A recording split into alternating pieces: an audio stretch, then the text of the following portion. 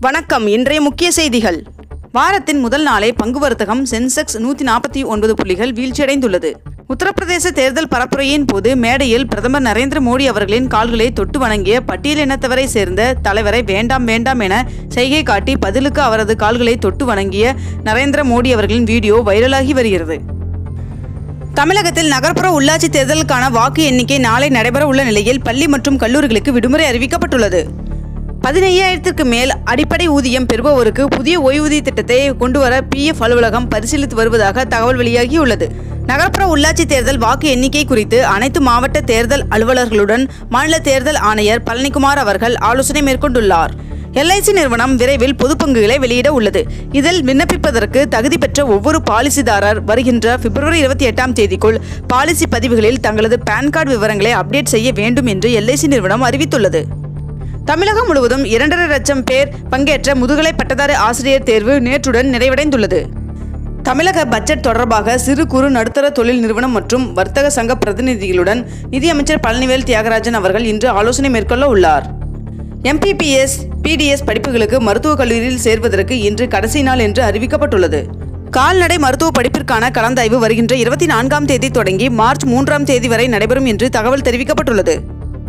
விவசாயிகளின் கிசான் திட்டத்திற்கீழ் வழங்கப்படும் இரண்டாயிரம் ரூபாயின் பதினோராவது தவணையானது மார்ச் மாதம் ஒன்றாம் தேதியன்று வெளியாகும் எனவும் இதில் தாமதமானால் ஏப்ரல் மாதம் இறுதிக்குள் வழங்கப்படும் என்றும் தெரிவிக்கப்பட்டுள்ளது. நகர்ப்புற உள்ளாட்சி தேர்தல் முடிவுகளை தொடர்ந்து மாவட்ட வாரியாக நடைபெறும் விழாவில் தான் பங்கேற்க உள்ளதாக முதலமைச்சர் மு ஸ்டாலின் அவர்கள் தெரிவித்துள்ளார். பிக் பாஸ் அல்டிமேட் நிகழ்ச்சியிலிருந்து விலகுவதாக கமலஹாசன் அவர்கள் அதிகாரப்பூர்வமாக அறிவித்துள்ளார்.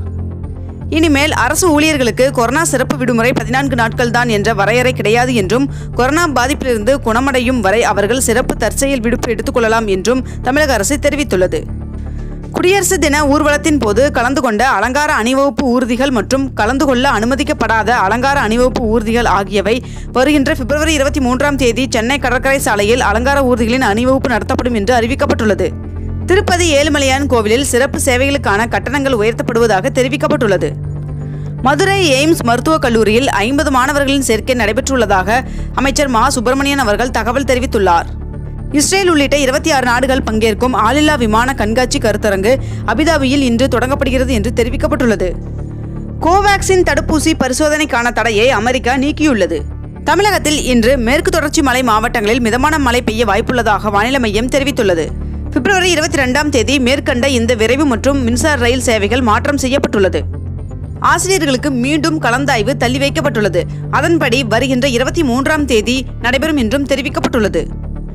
இந்திய டெஸ்ட் அணியின் புதிய கேப்டனாக ரோஹித் அவர்கள் அதிகாரப்பூர்வமாக அறிவிக்கப்பட்டுள்ளார்.